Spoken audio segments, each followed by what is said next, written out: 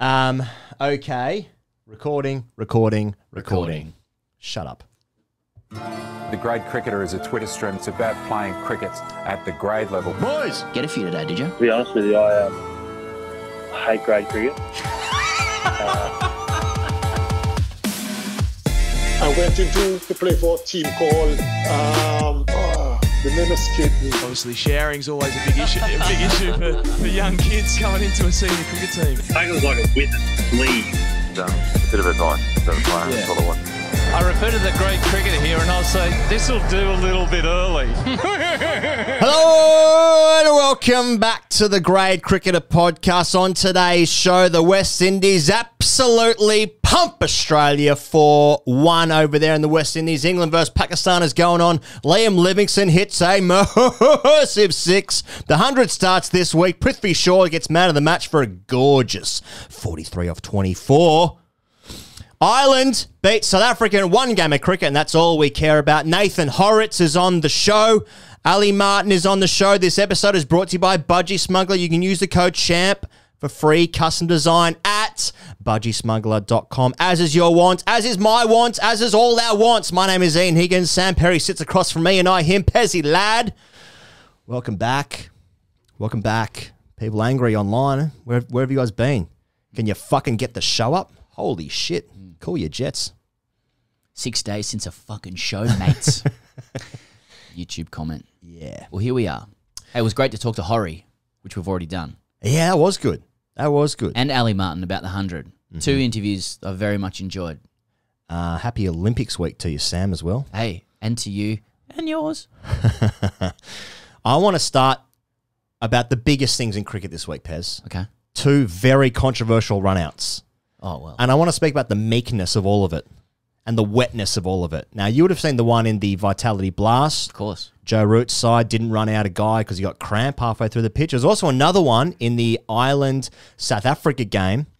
Waist high full toss was bowled, not given a no ball. It was hit down the air, uh, in the air, down the ground, caught it long on. Catch was completed. Batsman you think is dismissed.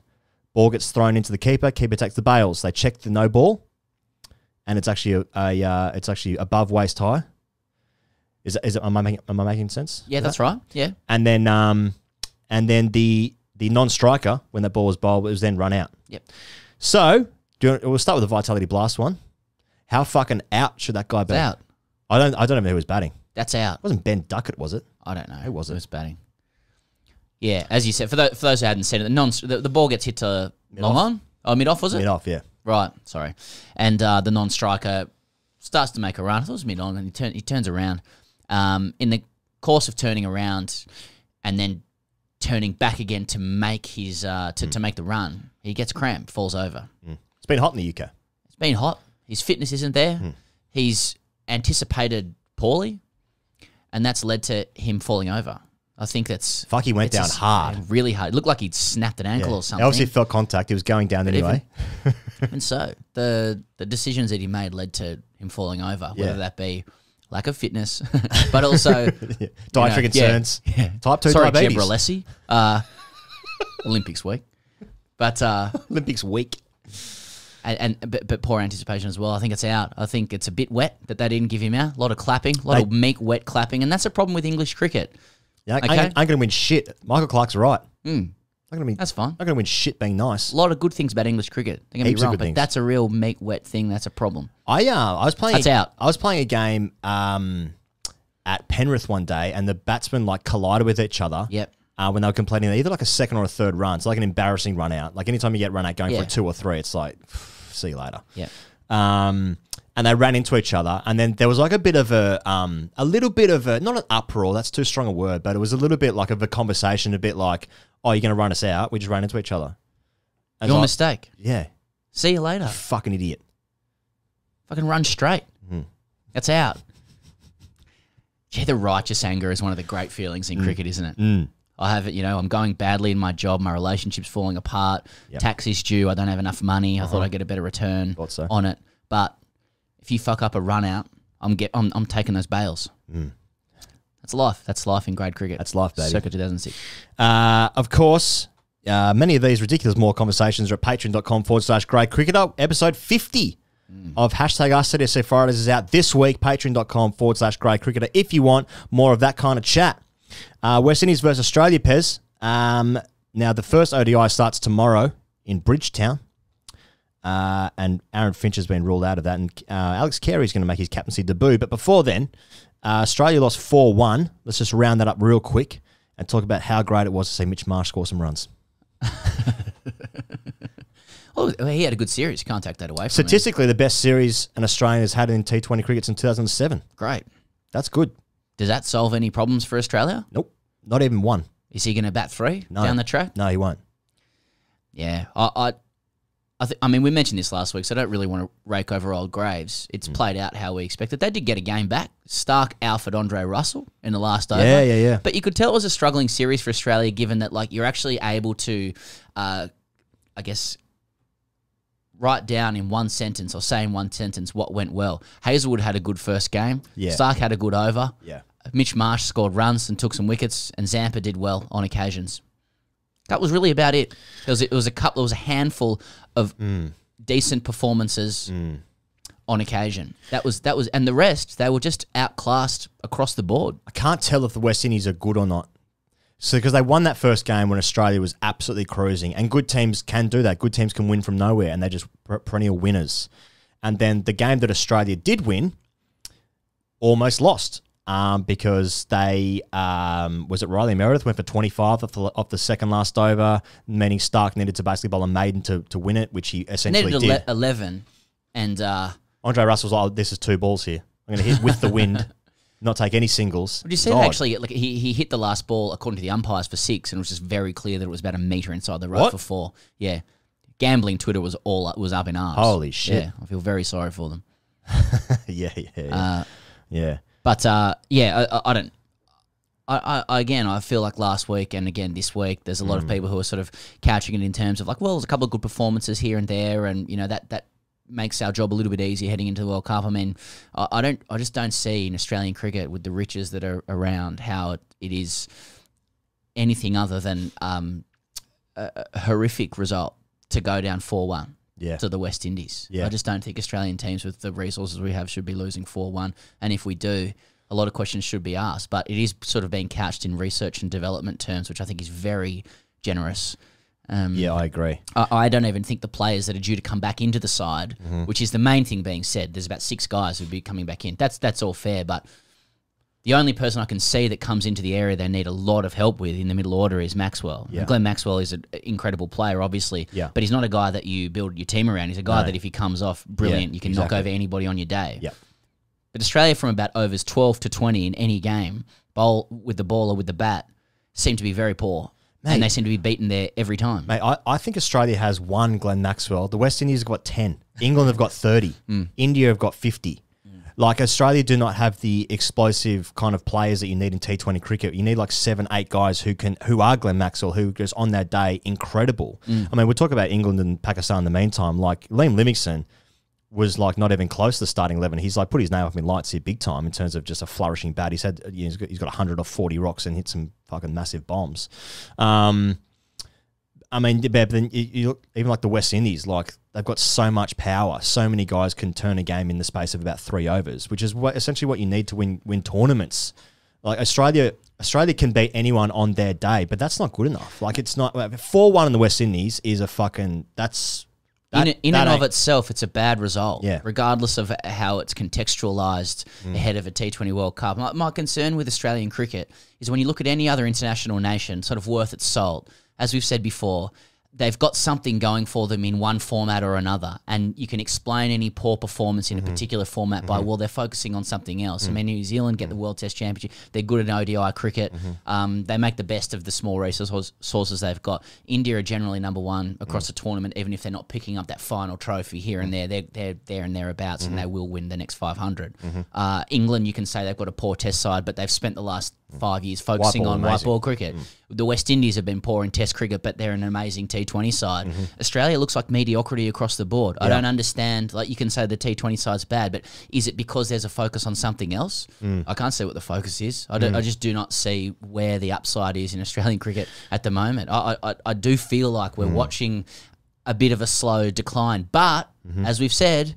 They'll chest England out, and apparently that is the great elixir to all things. That will just tranquilize our public. You go, okay, well, if we win that, no dramas. Yeah, I'm thirsty for that. Don't worry about that. Oh, me too. Can't, Um, can't wait. It's weird at the moment just looking at all these games that are being played, actually including the hundred. No, no one's no one's got a full strength team. Mate, everyone's rolling every- out twos. Yeah, exactly. Like England, uh, England are actually rolling out their threes. Yeah. um, the hundred are missing heaps of guys, let alone the the overseas players who have been pulling out. That's in men's and women's. Um, India um, are literally putting out a side which is nowhere near um, a team that will make the T Twenty World Cup, and then Sri Lanka and Pakistan, they got they got their own things going on before you get to Ireland, South Africa. But um, but uh, yeah, now in terms of um. Cricket generally, in like the three formats that are played, four, I guess, if you include, if you include the hundred. This is the very interesting thing about the World Cup in in uh, in fifty over cricket. When the tw 2019 World Cup was such a great World Cup, as they often all are, because it gives context to short form cricket, right? Um, whereas I suppose T20 cricket, in, in, even of itself, you know, two, three hours of entertainment can be just fun to watch. Can be. 50 over cricket, like what Australia's about to play against the West Indies here, three three ODIs. I mean, the value of that is like, I mean, what are we supposed to learn from this? So are there guys who can score quick runs here to to get themselves for contention for the T20 World Cup? Because we're three years away from the next um, World Cup. Two years. Yeah, when you when you learn that Alex Carey, who performed really well in the World Cup in the 50 over World Cup, Mm. two is, years cap- ago. Mm. is captain of the 50 over side, but could barely get a gig in the T20 side because Mm. Wade's the keeper. Yeah. They've kept Wade keeper out of three keepers in that side. They've batted him in the top three. Yeah. But will he bat in the top three? It's it's all over the place. All it's over hard, the place. It's hard to make a delineation between the 50 over side and the T20 side. That's probably because we're not following it very closely. There probably there would be big differences, but I think more broadly, where you're in that space of the year or in the calendar where like every country seems to be playing in a bilateral ODI Yeah. or, or T20 Yeah. Comp that we are never going to remember with a Men in Black neuralizer. Yeah, and uh, it's all a bit grim operating in a COVID dystopia. And, Yeah. uh, you know, test each other in two weeks. What happened? Yeah. We'll have zero clue. But, No you idea. know, gee, Josh Buttler hits a big ball. So Pakistan won the first T20. England won the second T20. The third match has actually been played today in Manchester. I think it's Manchester uh, on Tuesday today. Um, so Pakistan, their first game, 232 for six. Babar Azam finally hit some runs. First time in about a year, it feels like. 80, 85 or 49. Then Liam Livingstone went bang. 103 or 43 rocks. They lost by 30 odd runs. But um, Liam Livingstone, because then he's obviously hit this massive six in this second game, right? Where he hit, um, I think he got about 30 odd in that second game at Leeds, uh, which people tell you like it's the biggest six they've ever seen um, at Headingley there over the roof. He's got a wonderful flourish of the bat. a great swing. That's what great they say. She's a free swing. Yeah, we actually Well- saw this a fair few bit in the in the Big Bash when he's playing for the Scorchers. He does have a good flurry. So, so Livingstone apparently has found his mojo again after ten days in isolation. Yet, an, yet another cricketer who becomes a better cricketer through not playing cricket. Mm-hmm. It does happen. Stop training, everybody. Apparently, he also did some other shit with like uh, Paul Collingwood or whatever. But uh, he just said, "I credit it to not picking up a bat for ten days." It Brilliant. does feel, yeah, you hear it all the time. It's training is overrated. All these little incubator academy systems or whatever. Playing cricket's no good for you. Just, just take a break. A couple of things though, because one of the AskTGCs this week, if we get to it, is that um, someone had a great season, then they're like, because they hadn't played for ages, had a good season, then they're like, okay, this will be my season next season, and it just has not been. So I don't know if that equates. Mm. Secondly, was it a Patreon question we had maybe about six months ago about Liam Livingstone playing a club game where he hit 400? Yeah. And he made the news? That's right. And we had the guy who, who was bowling to him that day wrote in the question. Yeah. What were the specifics of that? I can't remember. It was he was in tears basically, but like Liam, uh, it was, you know, everyone, basically. everyone's experienced a ringer coming into play Yeah. and sort of just being a level too high. But Yeah. this story, I think, was the most extreme of that I've ever heard. I think he was where- banging his Lancashire lid. and and it was like it was as though he was playing against like from nineteenth Lancashire? nineteenth graders. Yeah. and Yeah. and took absolutely. Oh, that's what no it was. It was mercy. like some like cup competition Yeah. where they were playing. They were like fourth division, and then Yeah. Mm. Liam's team was like Prem or Division One or whatever. And so they'd come in, and that day that this fourth division team, their their ones were even out. So it was like ring-ins of like the twos and threes. That's right. Of this fourth division Dads, club. their dogs, Yeah, like that exactly, kind of thing. And he's Yeah. hit four hundred. Yeah, some dogs actually bowled quite well, but stump to stump. Of course. Dog. So, uh, hey, just uh, just before that as well, he goes, because this happened after we recorded last week, England threes chased 332 in the ODI against Yeah. um, Pakistan. Our boy got some runs. mate. Babar Azam, firstly, 158 off 139. Um, 14 ODI centuries in 81 innings, fastest ever. Wow, that's to pretty that. good. You know, and you would know that he was the fastest ever to 14 ODI centuries. That's always been the mark. He's a white ball big boy, if that's even a thing. Mm. Um, but James Vince made 100. Our mate, the man from Cuckfield. From Cuckfield. Sussex. From Cuckfield. He He- cucked Pakistan all over the park. That's right. And uh, as is our want, you know, Mm-hmm. and our desperate need, you know, flicked him a little DM, didn't you, to congratulate him? Yeah. Yeah, What about the circuit tonight, James? He's like, there's no circuit here. Yeah. By the way, who's this? But, But- people in the UK are lining up for nightclubs because they have done like I think in September they're going to do vac- you have to show that you've got uh, you've had a vaccine to enter a nightclub. Right. What a time to be alive, eh? It's a great time to be alive in all countries. Hope we uh, win gold in. Tokyo. Yeah, gold assages all political and social economic worries. How many Please. deaths? Uh, I, I noted that Ian Chappell wrote a piece in What's he up Cricket to? for- Well, he was just sort of saying that like it was again part of that cadre of people saying like Sibley and Burns are no good, but you know Malan and, and Vince, you know they're guys that could succeed out here again, and Vince didn't do his um, prospects any harm. Hmm. There's a lot of people who think like Vince is probably in the top six, you know, England Test batters in terms of talent, you know, in terms of the ability to actually do it. Anyway, it was good to see him score some runs. Maybe. Um, another one with, with England as well. He goes just uh, winning that ODI with their threes to- Yeah. to, win 3 0. Yeah. Um, I saw in The Guardian of, of Ben Stokes' captaincy. The question was can Morganism, Ian, uh, Ian, Eoin Morganism, um, can it flourish without Eoin Morgan? You know, so Eoin Morgan's not captain. Everyone thought England's great success is down to, you know, Eoin Morgan, Trevor Bayliss, but it turns out England can do it without him. Mate, That's it. England So- have got the best generation of white ball cri- cricketers in my Mm. lifetime. I mean, I guess before our lifetime, there wasn't really much white ball cricket that being, played, but like, I mean, the, the depth of, I mean, just the achievement of Mate, threes. their threes pumping Pakistan, chasing down record numbers. But doesn't it show it's systemic? It's like it doesn't matter who it is; they just bring him in. They know how to do it. It's it's really gone across the system. So what they do is they bring in the hundred now Mm. to usurp the entire genetic setup. That's right. Yeah. Mm. Okay. We've we've now we've now beaten this sport. Uh, let's bring in something else. Um, also, just the bowling. Um, Saqib Mahmood has done extremely well. Who wouldn't Mm. Have- uh, who wouldn't have done that good? Uh, who, sorry, who wouldn't be that close Mm. to um, the starting starting ones. so England one, twos, threes. Might give a game in twos or Um, Parkinson's done well as well. Um, Mm. The spinner. Um, played great cricket. Um, like Josh Buttler scored some runs in that second T20 game. Oh, I love myself some Josh Buttler runs. You know, Yeah. I've been saying this for years, but fuck, it's good. Well, I watched Livingstone's ton in the morning Mm-hmm. up with my three year old very early in the morning, and then later in the day Australia played, and blokes are just struggling to go up more than a run a ball. You know what I mean? Like I mean, different conditions. I wonder how much it's stuff, freedom and confidence, you know. But it seems to be like a um, not an ethic, but it just like almost like a mantra, in, in the sense that the, the, the confidence with the, with how these guys go about their stroke play. I mean, Australians like are struggling to get off the square. I mean, Yeah. you- you're right. You're right in saying that. You look at how England play 360, the skills, flicks, paddles. They just seem so much more conditioned They can go. to They can white go to ball fifth, cricket. They can go to fifth gear straight away. yeah. Um, yeah. Just with Australia, I wish you could say like, yeah, well, they're, they're focusing on their test stuff at the moment or something. They're not even playing. England are the only team that can match India in the UAE for that World Cup. Um, just in terms of squad depth, it'll come Yeah. down to bowling, I think. Oh, well, looking at the uh, the, the Windies can have a day out as well. I'd say. Um, Mm. What about uh, Hayden Walsh Jr. as well? Again, he, he he kept cracking on from what we said last week. The the West Indies leggy, Mm. Yeah, yeah. brilliant player. Yeah. Yeah, Um, all right, Pez, uh, we spoke to Ali Martin um, about the 100. Now, we've obviously given some very strong opinions about the 100, of which everyone said you guys are wrong. well, they sort of lump us in the same category. there, are some differences. Um, so the tournament, oh, the, uh, the 100 starts on Thursday for the women, Friday for the men. Both games are Oval Invincibles versus Manchester Originals at the Oval. Uh, the men's match on Friday is sold out.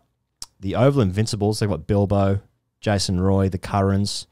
Manchester have Katich as coach. Buttler, Buttler, Phil Salt, Ollie Robinson. Um, but uh, yeah, now should we should we just speak to Ali first, then we'll come back to the other side. All right, here he is, Ali Martin, chief cricket writer at the Guardian. Okay, we're with the number one cricket writer at The Guardian, who again didn't want to be introduced that way, but they're my words, not his. And of course, I'm talking about Ali Martin. Uh, Ali, welcome to the show, of course. Um, thanks for having me back, gents. Good to see you. I want to talk to you about the 100. Uh, Ali, as we can see, down the barrel of the camera. Um, you're a white middle class dude in, in, inside a pale male and stale industry, uh, and you're being told that the game needs to move beyond your type or grow. Uh, so, with that in mind, excluding those being paid directly by the competition, what's the temperature around the hundred among the pale male and stale faithful? And when you're getting a pint at the doghouse in Kennington with the other cricket scribblers or village cricket types, are they keen or are they outwardly critical but privately frothing for the hundred? Have you got a read? Um, um, thanks for that introduction. Um, it's great to be a spokesperson for, for, for that demographic, and um, you I mean, I am. Yeah, that's that. I, exactly what I am. I'm, uh, I'm. To be honest, I'm more centrist dad. That's where I'm at. That's the kind of, in some ways, I should be the target. Well, in some ways, I should be the target audience. I've got I've got two two young kids. One's uh, way too young, but one's one's getting into cricket, getting into all stars. I should be the target audience. I should be the kind of people they're trying to bring into the grounds, um, bring the kids along, um, help them with their maths, which is what this is partly to do with, and um, and yeah. So uh, look, I. It's, it's it's here now. It's like it's been a three-year gestation period, um, and during that time, there's been a, just an absolute uh, succession of missteps by the ECB in terms of setting this up. Uh, it's been uh, hugely divisive. Um, it's there. There are good intentions behind the hundred. Um, I think what it's trying to achieve are laudable aims, um, but I think there's a lot of people in the sport that would probably argue that, that those aims can be, you know, you can you can you can try and fix fix the game as is without having to build something separate to it. I kind of liken it to. Um, you know, you say you got problems with the house, you got a, the guttering's gone wrong, the the the, the roof's leaking, etc uh, the solution here seems to be build, building an building an annex next to the house. That, hmm. that doesn't really stack up to me. You know I mean? So I, it's there's so much of it that is a laudable. They've they've, they've identified issues within the game, um, and they want to address those. They want to broaden the audience. I don't think anyone would have an issue with uh, with any of those things. They want to get some of the cricket back onto free to air television, which we've we've had a sort of 15 year blackout on that, apart from the World Cup final in 2019, which was very much a last minute deal. Um, so I, you know, there, there are positives to it. Um, the question is, is this the way they should be doing it? Should they be completely remarketing and remixing the sport? Um, and what about the people that it leaves behind? Um, because essentially they're being told, um, this isn't for you. Go and watch the twos for five weeks.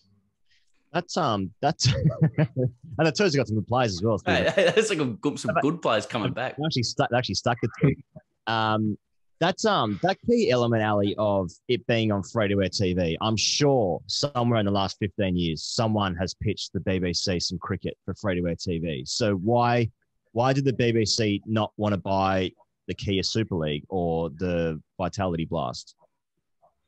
I think I think it's probably some of the issues that we mentioned previously. Like the, I think it was probably the fact that it was it was deemed as quite a sort of male uh, white middle class sport, maybe a bit elitist. Um, I think that in terms of, it's worth noting that they did buy a T20 competition. So I don't. This isn't necessarily about having a crunch down game to fit the the domestic broadcast, you know, the, the terrestrial broadcast schedule, trying to get off in time for the for the news or what have you.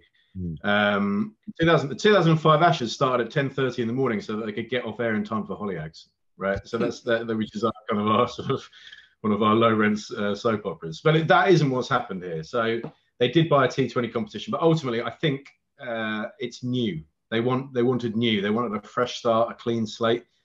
The BBC wanted to you know to appeal to a new audience and wanted to broaden out its own sort of sporting remit. Um, and it probably just viewed the county game and the domestic game as, as a bit sort of stale and male and pale, really, which is kind of inarguable. They, I mean, they kind of they did a survey back in 2019 of um, they were looking at ticket sales for England and domestic games. 94% were white British ticket buyers, um, and about 82% of them were male. So like it does it does stack up that there is a kind of you know a disconnect there. That that 2019 World Cup was actually incredible for that. That that that proved the power of cricket in this country that can go beyond the domestic game. But I think I've just got the figures in front of me, so just excuse me while I'm eyes down. Um, but there were 35% of ticket buyers for that tournament were first timers, right?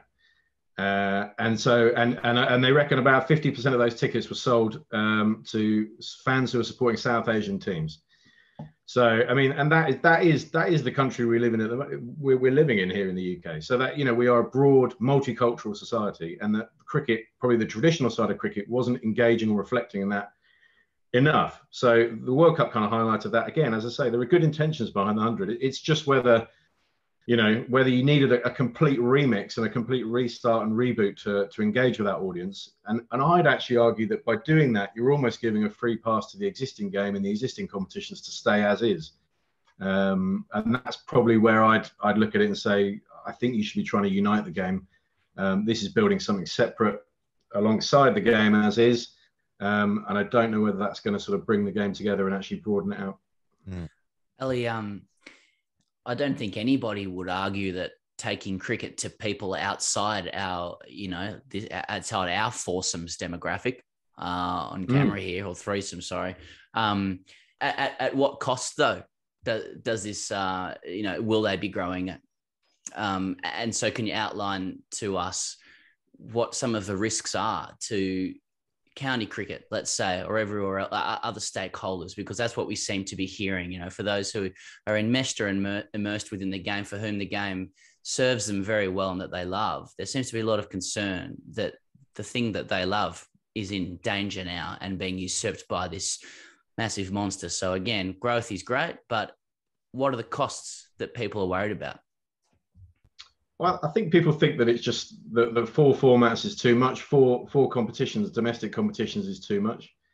Um, I think after the I think after the 2015 World Cup, which which uh, the men's World Cup, which England absolutely stunk out the place, didn't they? So yes. I think there was quite there was quite a strong mandate at the time for you know we need our own elite T20 edition to bring up the standard of, of white ball cricket in this country.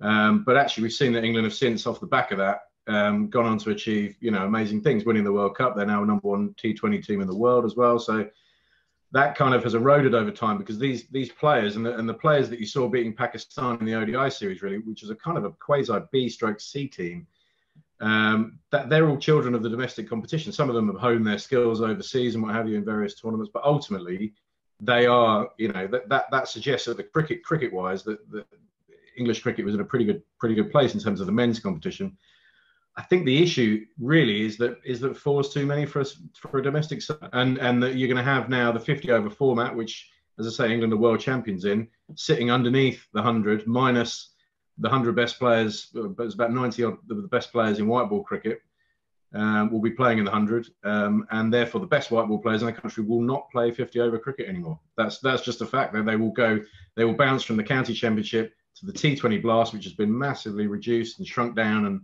you know, kind of almost chopped off at the knees by the new tournament. Um, uh, and those players they'll bounce from those two onto the hundred and then back out the other end into um, the, T, the, the end of the T20 blast and, um, uh, and some of the county championship as well. So that's kind of that's that's that's the fear that people see. That's that's that's what they see. They see the prime summer months being handed over to a format that they're being told isn't necessarily for them. Um, and they feel like you know they are the fans that have, that have propped this game up and, and taken it to where it is right now, and that really there should have been a solution that brought everyone together. What if it What if it works though, Ali? I mean, like England England started playing competitive T20 cricket about five years before everyone else. I, I know about five years before the IPL, I think in 2003, and it seems to me, maybe from afar and unfairly, that it's about the sixth most prestigious you know T20 domestic competition in the world now. But but but what happens if but what happens if the hundred takes off? I mean, does India buy it and make it a million times better, or like what what happens? Well, I don't know. I mean, but that's I mean that's kind of what they're hoping. That's it's kind of that's what they view as its kind of manifest destiny. They're hoping that they've got it trademarked and it can be exported and that and that, that it's loved around the world and that maybe it does replace T20 down the line. I think that's I think there's probably a massive sort of regret there that that, that T20 wasn't capitalized on in this country um, despite being the, the his country of origin. So you know, I can kind of, uh, you know, will that happen? I mean, who's to say? I mean, it's it's it's a five year deal. Um, um, it's kind of how it gets picked up overseas, whether overseas broadcasters like it, whether it whether overseas fans are engaged by it. Um, I do think I think the length of the game is interesting actually. Like I I, I do think that the, the T20 has gone from short and sharp to being this sort of you know, a bit of a monster. I mean, I've been to, I went to some IPL games a, a few years ago out in India, and I, I, remember it started at eight o'clock and finished past midnight, and it was just like, you know, this is a sort of four-hour, twenty-minute game for what was meant to be the short, sharp kind of gateway drug. So I do understand some of the sort of why they're doing some of these these elements to it. I don't. That doesn't quite stack up with why you've got a two and a half minute strategic timeout in the middle of the game if you're trying to speed it up. But um, that's just that's just one small gripe. But you know, I can understand that side of it, and it, yeah, it may be that other countries look at it and go, actually, this this this is a this is a more compact, more concentrated, better product. So it, it, it could it could be where it goes. Um, but I reckon, you know, I think you probably need the Indian Premier League to get on board with that because they have taken T20 and run with it, and that now is the kind of the gold standard for the format in in the world. So I think as long as they're playing three formats in international level, T uh, Test Test cricket, 50 over cricket, and T20 cricket and the IPL is playing ten, playing T20 cricket. Uh, I'm struggling to see how it gets picked up and how it, how it how it becomes a format in its own right that, that is exported. But you know, we're, we're going to have to wait and see on that one. No one's got a crystal ball. Ali, last one from me. Um, it wouldn't have escaped your attention the piece that uh, Cricinfo's George Dobell put out a few days ago, uh, 100 reasons why the ECB has failed the game. Um, it's you know, I'm paraphrasing, but it's an excoriating piece about how the ECB has sort of bet the house on the 100 and to the significant detriment of many important pillars of the game in the UK. And, and he says that the game we knew is being compromised to accommodate a competition we shouldn't need. And uh, ultimately, he says they concocted this solution off the back of so badly selling the game that they've got in the first place. So they're my words, not his. So can you sum up for us like, how big a gamble is this for English cricket? Um, how do you view its chances of working? And do you feel pressure as a journo yourself ahead of this kind of seismic new moment to pick a side or make a prediction, you know, about how it's going to go, given the significance of, of the moment in English cricket? Uh, on the last point, yeah, definitely, because you you just know that what, whatever you put down here is going to be referenced in years to come as the kind of the bloke who absolutely couldn't read the runes, uh, you know, struggled to see the tea leaves at the bottom of the bottom of the mug or whatever. But yeah, so look, it is it is a massive moment, um, and I think I mean I think I agree with George in, in terms of the way that you know this this is kind of making up for for past shortcomings, and and whether that's whether that's the cure or the solution is is is up for debate really because the way I see it is that you've got 18 first-class counties, um, and we, I'm just talking the men's game here. I think I think actually the impact for the women's game is going to be big. I, I think some of that side of it again is inarguable in terms of raising the profile. There are issues there with in terms of the pay. The pay gap between the two competitions is massive, so I don't that that doesn't all stack up. But there is in terms of sort of messaging and platform. There is much more increased gender parity that I don't think could have been achieved with the Kia Super League. As, as, as good a competition as it was, it didn't have that kind of sort of it didn't enter the zeitgeist um, like they're hoping this tournament will. Um, but I, I, do find it a bit strange that with 18 centres of excellence and 18 sort of heritage brands that you wouldn't look to build on top of that, a lot of people believe that the way to go was an 18 Premier League, a, a 10 a 10 team sort of second division, all focus, all spotlight on the top division, but English sport is ultimately built on promotion and relegation. That is that is the good stuff. That we love those narratives. We love teams coming up. We love the jeopardy of teams going down.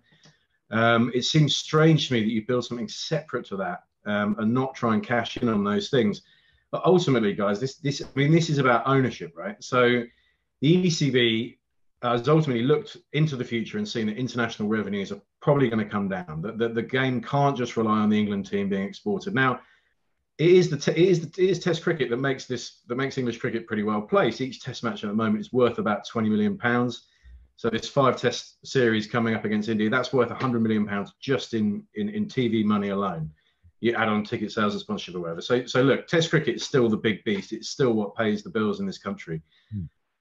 I think that this is about ownership. Is that they wanted to create a domestic product, but it but to create a domestic product would have handed over that ownership of that to, to 18 teams. And what the ECB wanted, they want any money that comes in through a new rebranded, remixed tournament, they want that to flow through their accounts first before being distributed back out to the counties. And that's kind of that's where where they're at. They want they want ownership of it so that they can kind of future proof themselves um, ultimately because they've seen about 70 million pounds in reserves, which was intended for you know the, the, cancellation of an India series or the death of a monarch during a test match or whatever. That that kind of money has disappeared. The, the, the reserves in the game now are very thin now because they've just pumped so much into setting this tournament up, mm. um, and also because they fear that the international TV money is going to come down. So that's the big fear. That's what this is designed to kind of future. They keep saying future proofing themselves. They want to talk to you know they want to talk to new communities and and that i totally am on board with as i say that and the women's game there, there are good sides to this there, there, there's good intentions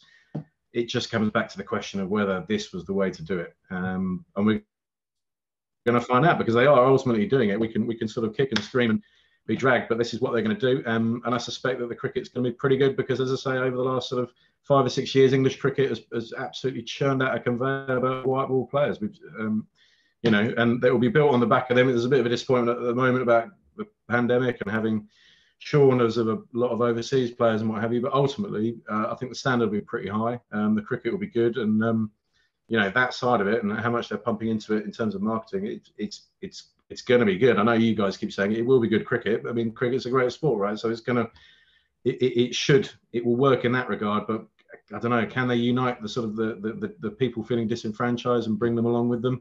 That's the big question. That that will be how it's sort of judged, I think.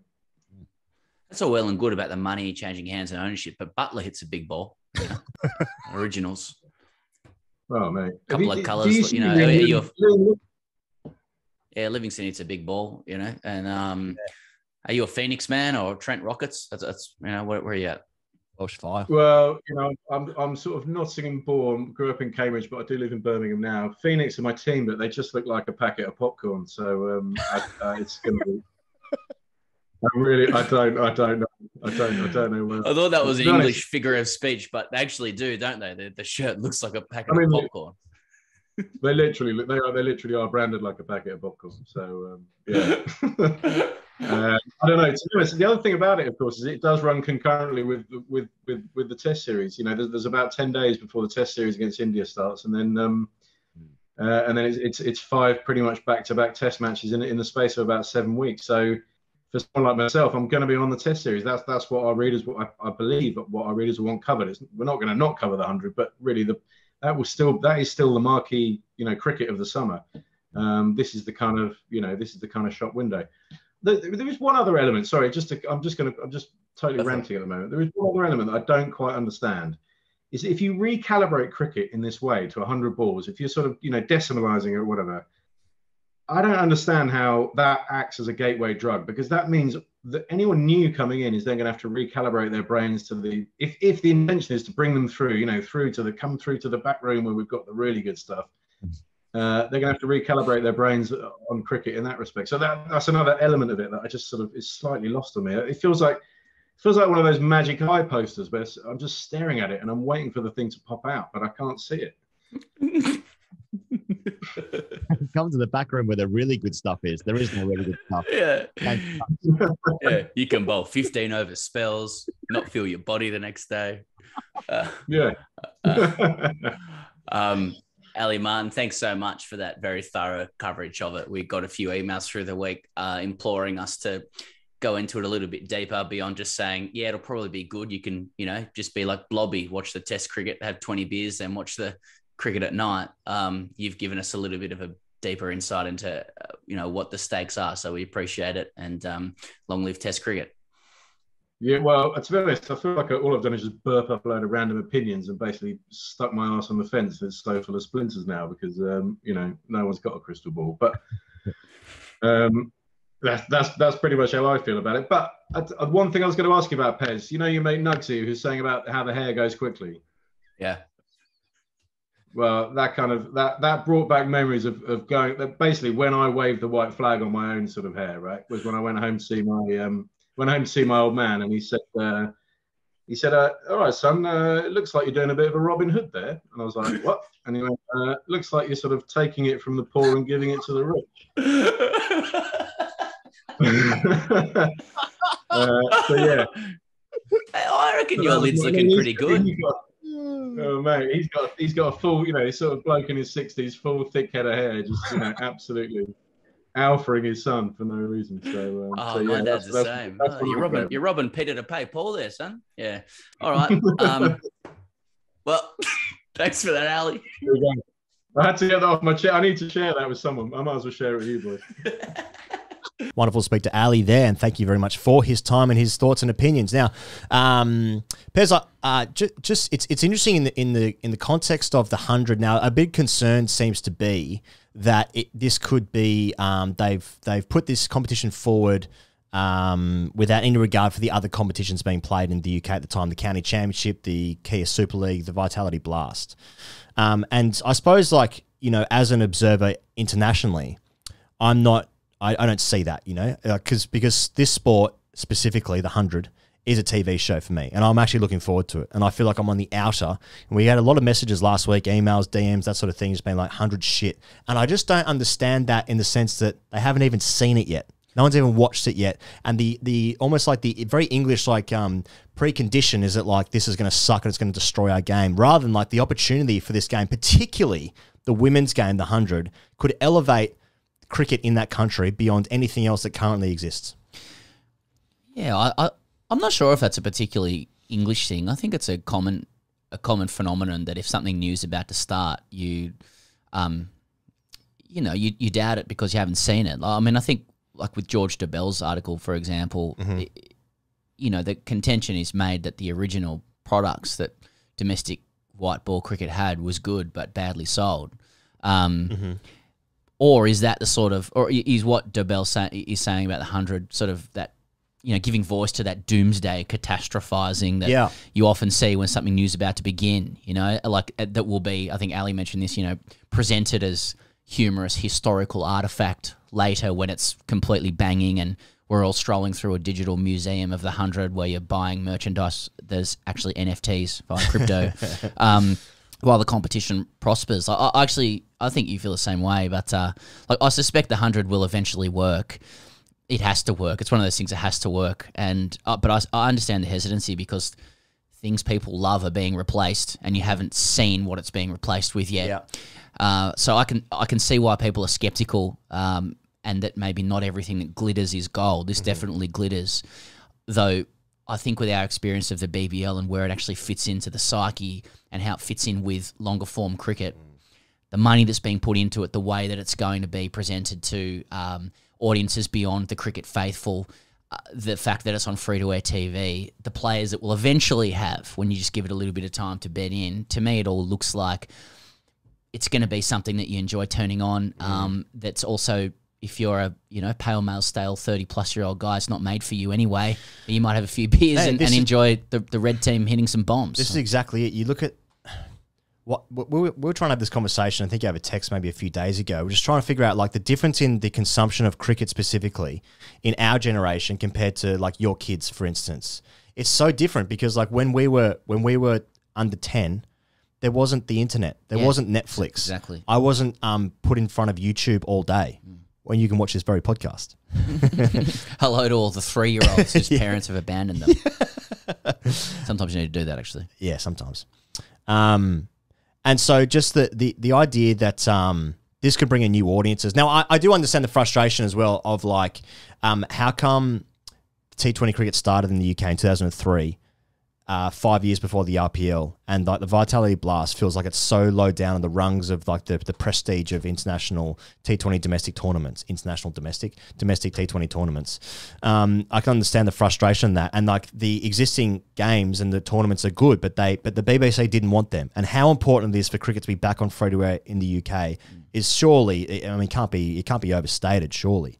But the, this idea that um, the, the Big Bash is Big Bash is the same. That's why they, the entire tournament is scheduled during the school holidays now in Australia. Like it's it's for a younger generation because the younger generation are competing with so many more things that we never did. Yeah, I think that's right, and I think cricket cricket administrators have often said that cricket now doesn't compete with other sports Mm. for attention. It competes with technology. Like it's cricket versus YouTube. Hey. It's cricket versus Netflix. It's all of that kind of gear. Hey, I, pe- I pe- understand. People, uh, young young people don't even watch football. They don't watch ninety minutes of football. They they consume it through clips on Twitter and streams and highlights on YouTube with with some you know EDM underneath.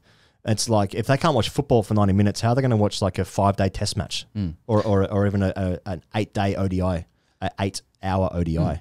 So yeah, like if you're if you're a legacy um, England cricket fan, um, you're dead. Go and die now. The game's not for you. Get out of here and die. It doesn't want you. Anyway, it'd be very interesting to see what happens on Friday uh, and Thursday, indeed.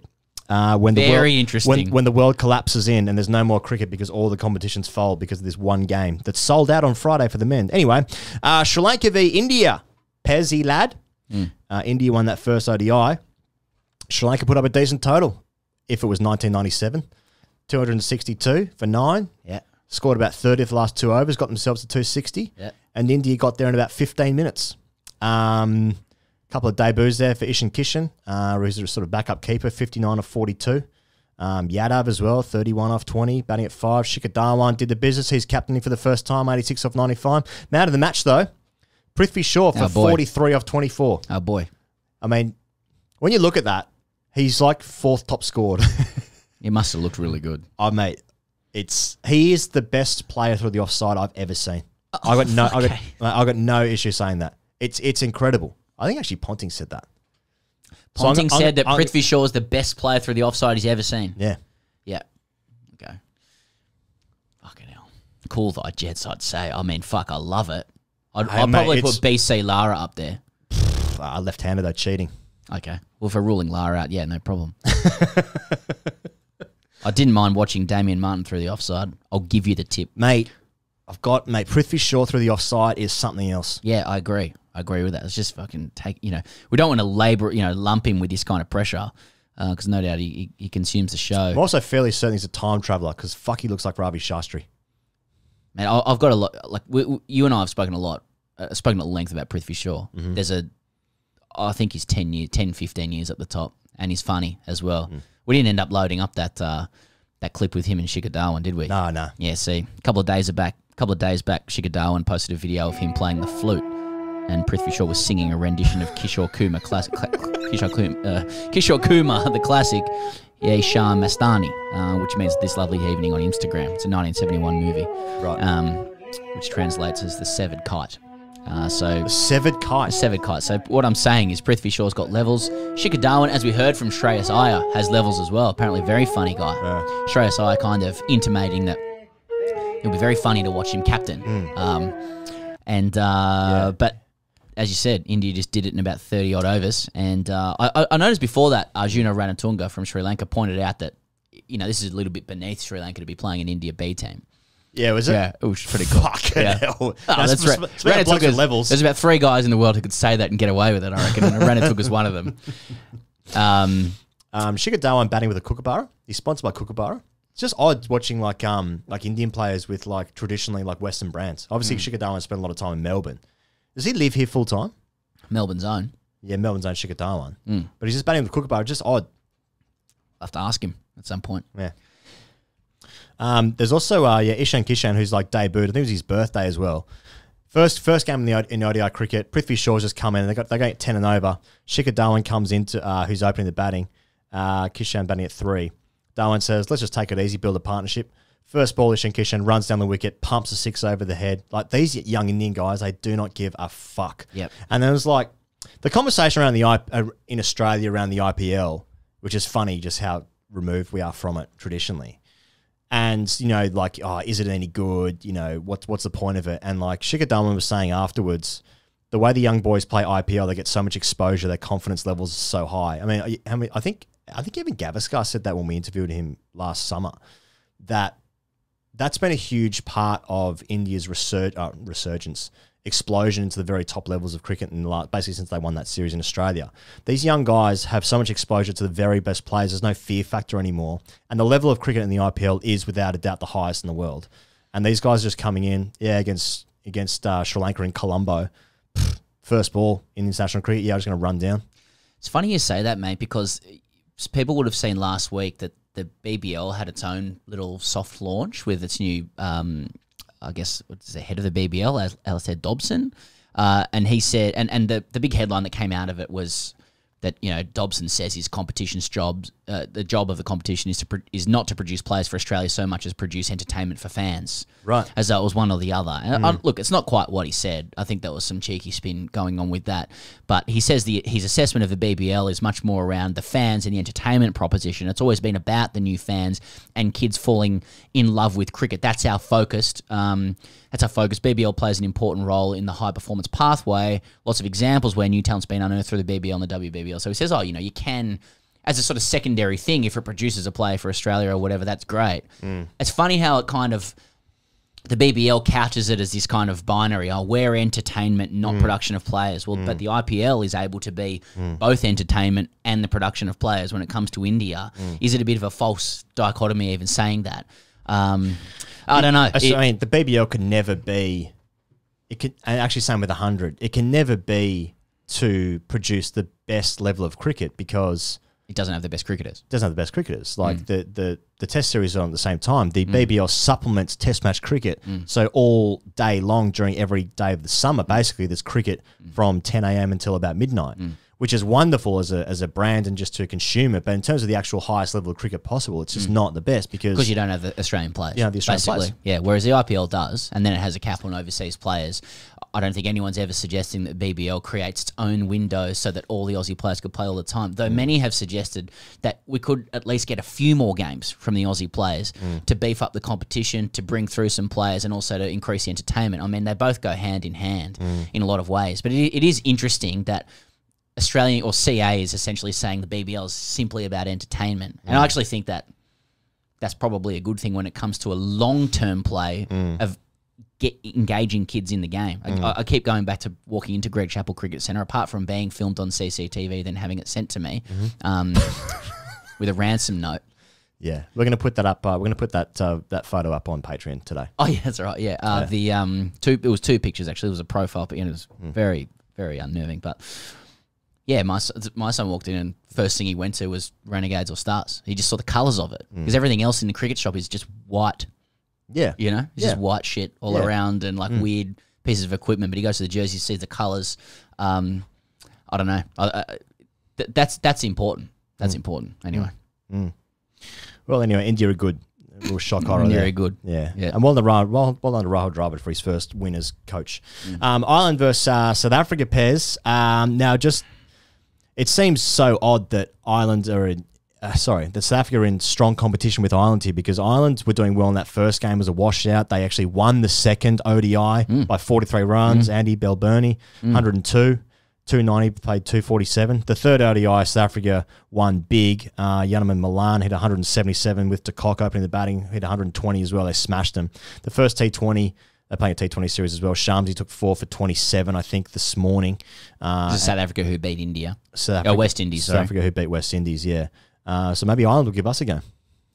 Well, yeah. If you were, well, Ireland beat South Africa. South Africa beat West Indies. We need to beat Australia. So see what see what I'm saying with that. Uh, well, I, I know there's some difficulties in South Africa at the moment. Um, They're in the group of Mm. Yeah, the of third wave of COVID nineteen, and then there's some riots and looting, Civil unrest, yeah.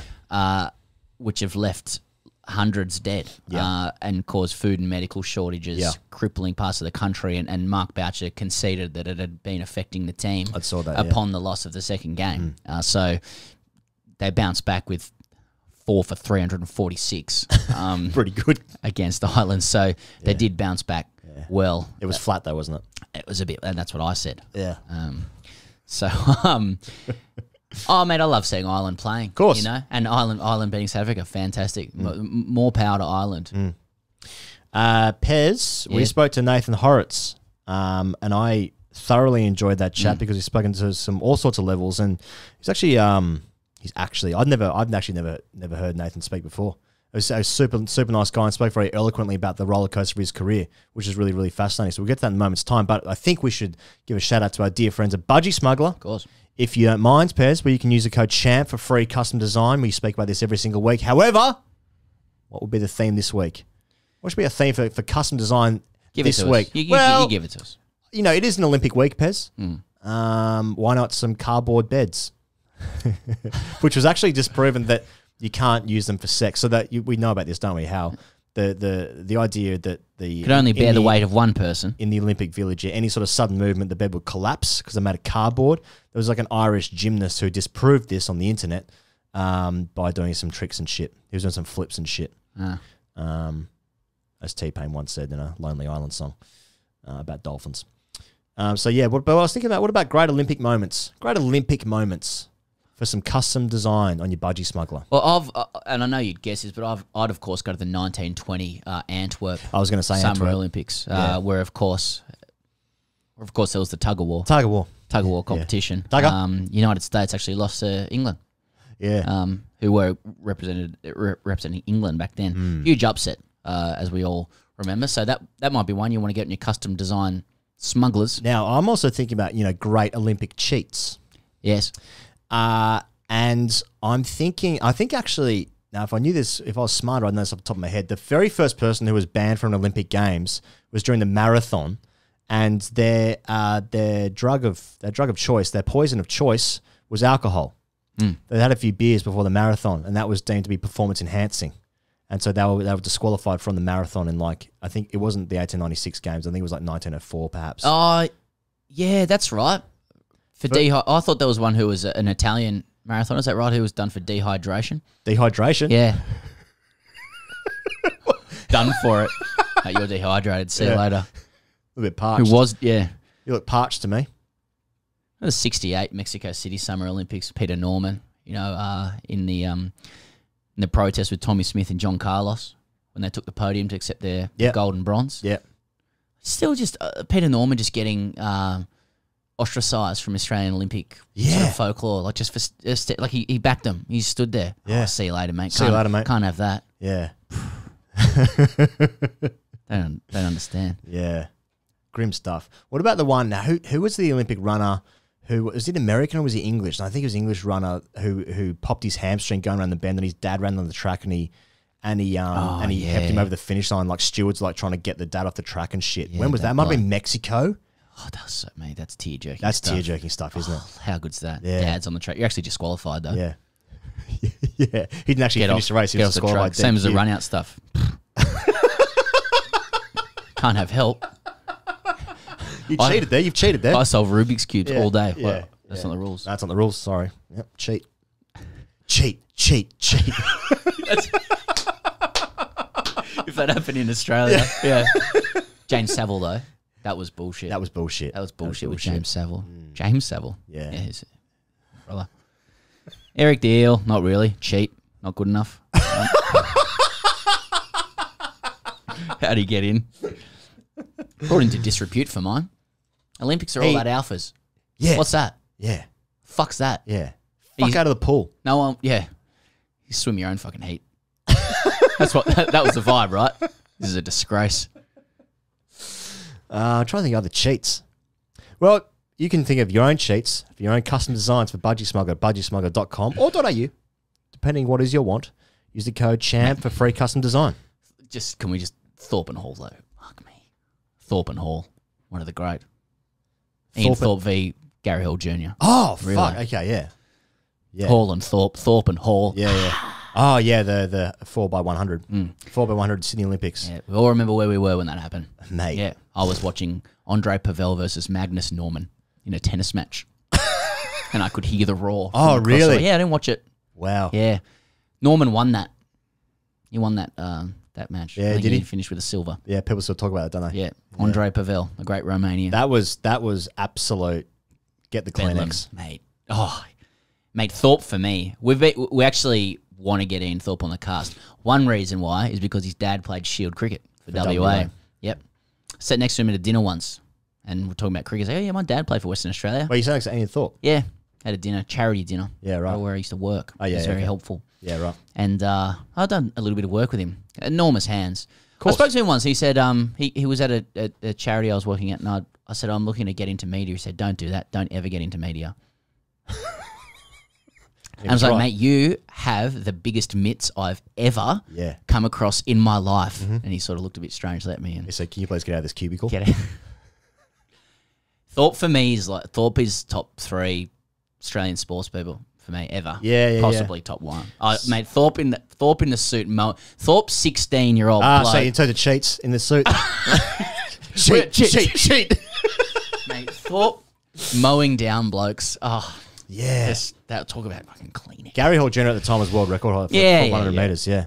I and think, like Thorpe is like the least. This is what I love about Thorpe. Mm. I love a lot of things about him, and mm. being a just absolute gun mm. swimmer, but just watching him mow down blokes. But like, he's the least alpha archetype male, and yet possibly our greatest ever male sportsman. What does that say? Do not have to be the alpha archetype. fuck, who's greater than Ian Thorpe? Fuck, that's that's a big call. Exactly, Marnus.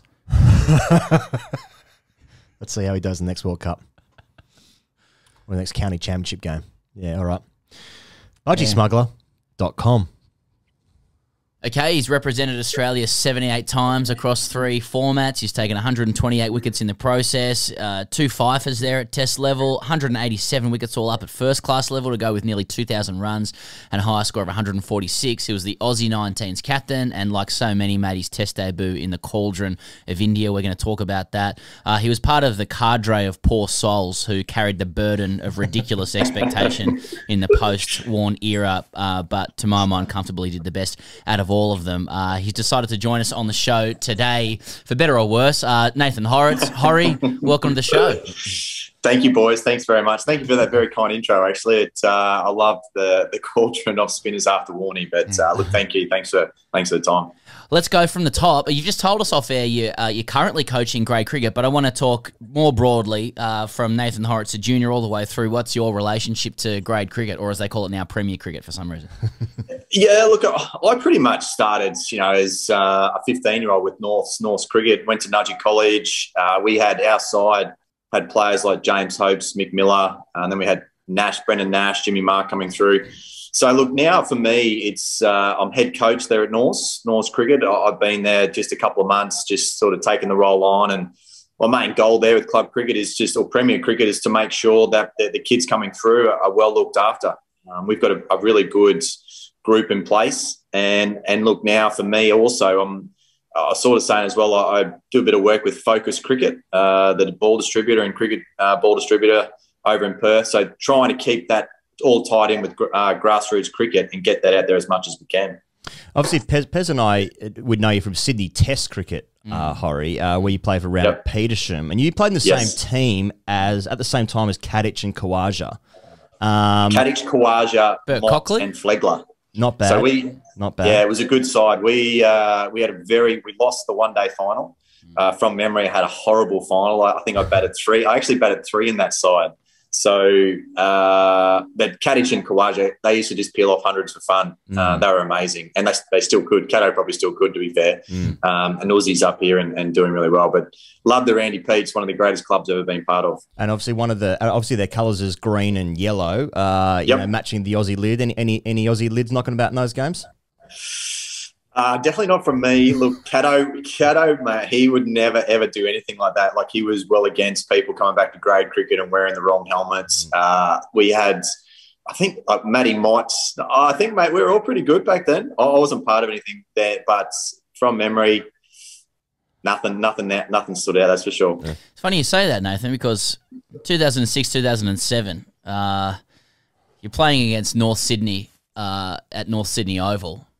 Yep one of us may have been involved in that game as well, which, which obviously you remember quite well. But it's it's late it's late in the day, Saturday afternoon. You've knocked over Norths. Um, it wasn't a great total from Norths as per usual, but uh, yep. And you're coming, you're you're out there batting number three. You're not night watchman, and uh, you get lidded by by Matt Burton, another name you, I'm sure you remember, and um. And the game, the game pauses. You got this young chap under the lid as well, just close to you, making various noises. But um, yeah.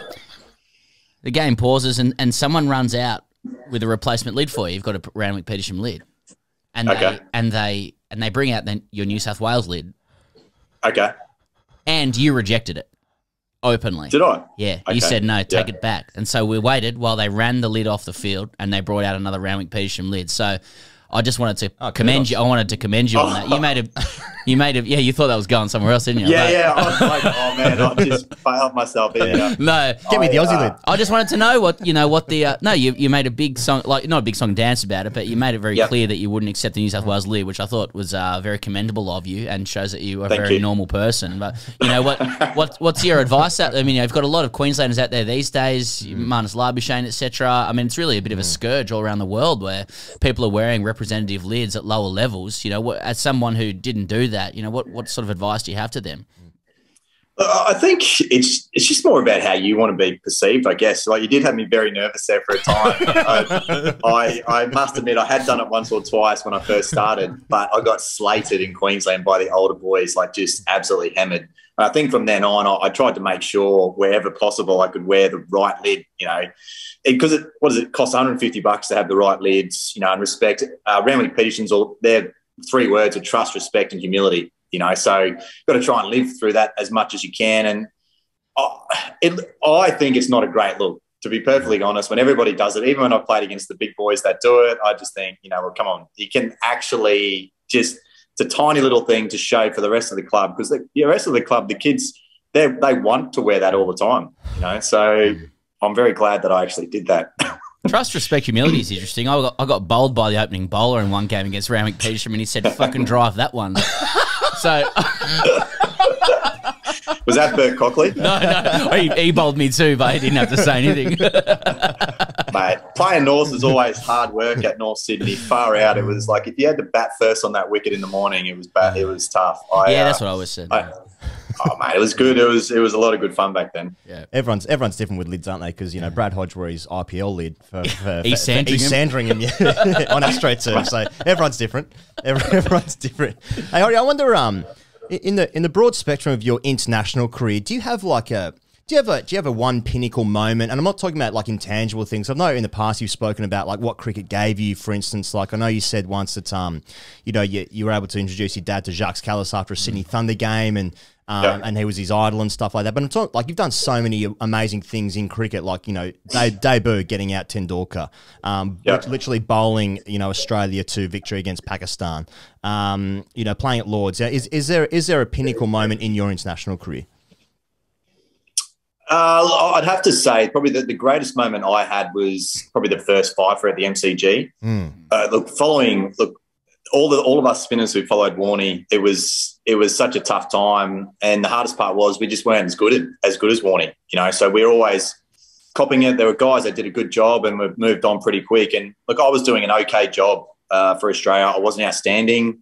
I was doing my job. Sometimes I didn't, but as soon as I didn't, I copped it really uh, viciously from everybody. And that game, I took five from the second dig. Uh, I remember the selectors and everybody was just like, if he doesn't take five from this second dig, we're going to have to look at, you know, what his future is really. And I took that five wicket haul, and and the the boys, the, the whole inner circle, the whole inner sanctum, they were always, you know, willing me to get better, I guess, and be that guy to just sort of eventually stop that death of the spinner.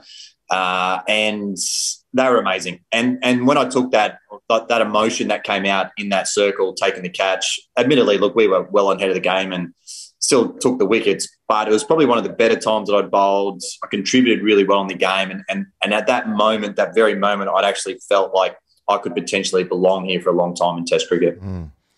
I just want to ask. I mean, I'm sure you've spoken so much, Horry, about what it's like to follow Warne, and um, I'm kind of conscious of not making that the the key uh, story of your career because, as Higo says, yep. you've done so much in the game across all three formats, and there's so much to be proud of. But I'm just noting from what Higo said earlier. You know, you 2004, you pick up you know Tendulkar and Laxman in your yep. in your debut game, and soon after, you you know, and they win the series in in India as well. And soon after you find it difficult to make a fist of spin bowling in Australia. And I just wanted to know, and I know you're not a guy that makes excuses or anything like that, which is a credit yep. to you, but like, what, what sort of indictment is it on Australian wickets and the environment for an Austra- for an Australian spinner, both in terms of expectations and conditions, that you can go from knocking over Tendulkar and Laxman to yep. finding it hard in like state twos, you know, soon yeah, afterwards. Yeah. Like, what does that does that say something about Australian cricket? Look, uh, it's definitely changed since then. Uh, back then, we had a, a cat like Marbo wasn't a, a massive uh, user of spin bowling, and he didn't understand how to use spin bowling. And it didn't help that he had a young kid who wasn't a, a great spinner. Like I was an okay spinner. Uh, I still needed work for myself. You know, look, I, I needed to to understand to get better. Uh, I was lucky enough to play on a, a, rolled red mud wicket over there, and uh, fortunate enough to take a couple of wickets and I remember uh, when Pup took six for nine after mm. I came off. Uh, punter goes, "Horry, I probably left you on too long." you know, so, uh, so you know, like it was funny that, like at the time, I'm like, "Yeah, you're probably right," because he come and took six for nine and three overs or whatever it was, and yeah. just changed. But I think back then, the spinners were rarely used, and the wickets we played on, they were you sort of an afterthought and I never really improved. And those, I think the, the next six games showed how inexperienced I was as a spin bowler and how much I still needed to improve, which is why I went to Sydney at the end of the day.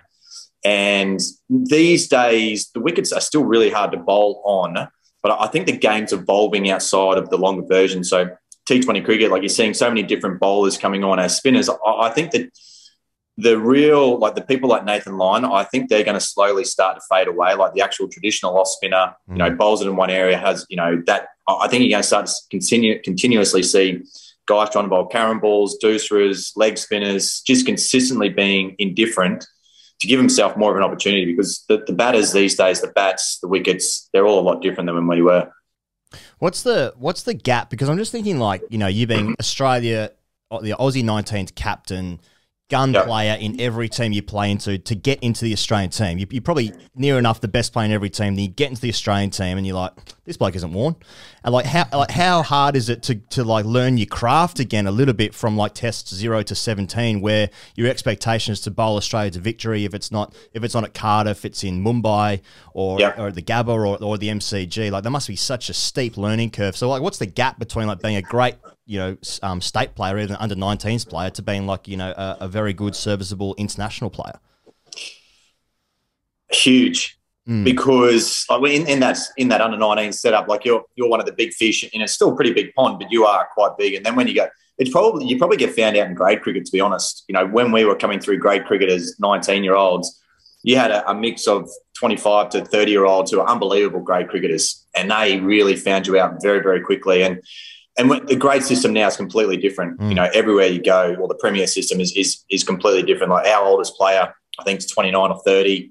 Uh, the rest are probably average age of 23, 24. So if your game can't handle back then grade crickets, then you're not going to you're going to struggle to handle first class cricket, let alone Test cricket. And, and for me, like, I was doing steady with regard to grade cricket. I was being okay. Uh, uh, Shield cricket, I was okay, but I was I was still in that uh, realm of he's coming through. Let's give him look. He's a finger spinner. He's probably the best that we've got. You know, he's not unbelievable, but we're, happy to work with him. But as soon as he doesn't work, then there was no support. There was no network. There was no nothing. It's sort of like, see you later, buddy. Good job. You know, we'll we'll try somebody else. Uh, that was the hardest thing. There was no like no cricket Australia, Queensland cricket weren't as they're not a spin bowling culture, which is that's what it is. They've won so many uh, titles with regard to bowling fast and at the Gabba, and they needed a spinner. It was Andrew Symonds bowling 15 overs a second deep. That's what it is, and that was probably the biggest biggest difference. Whereas now there's a lot of support around. Wickets are changing a little bit more, and I guess COVID as well. With staying in a certain area for six seven weeks, you're going to continuously play on those drying wickets. Whereas I remember playing games at the Gabba, it was over in a day and three quarters. The wicket was so green, and there's no chance I'm getting the ball because you've got Bichel, Kasprowicz, Noffke, Dawes, then mm. Symonds.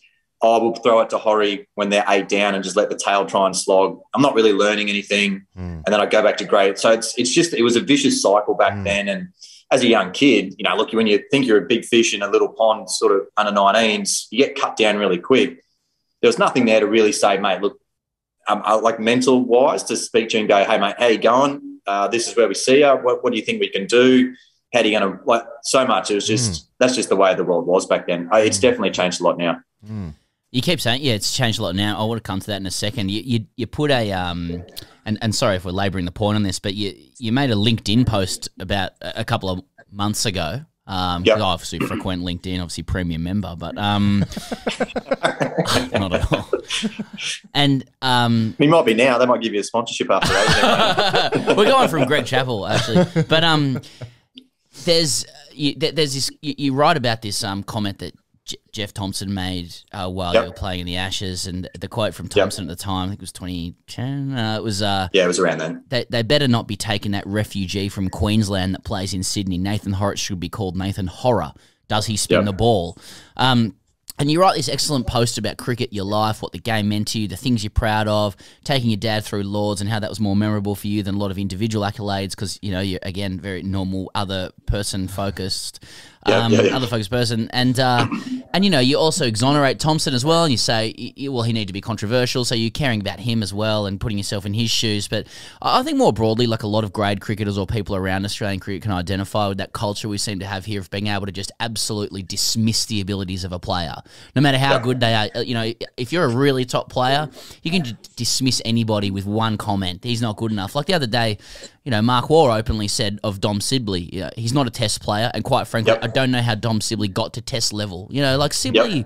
Sibley's played 20 tests, has two hundreds, five fifties. Amazing achievement for anybody, regardless. Doesn't matter how Doing well. Exactly. Yeah, yeah. Um, you know, you captain Aussie 19s, you debuted young, you had some success, um, but it was a tough time for Aussie cricket. Like, I suppose my question is, like, why are we like this in Australia? And, and and if it's just if you say that we're different now, I'm not sure we, we really are. You're probably being kind. Oh no, Like- crowd, crowds and that are no different. Yeah, crowds and right. spectators are probably Why no are we different. like that here?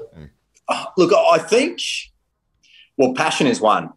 You know, so like you, you saw uh, probably the England, you know, when they lost the uh, the Euro, Mm. uh, they were rioting. You know, so it's look back. Uh, I, I don't think.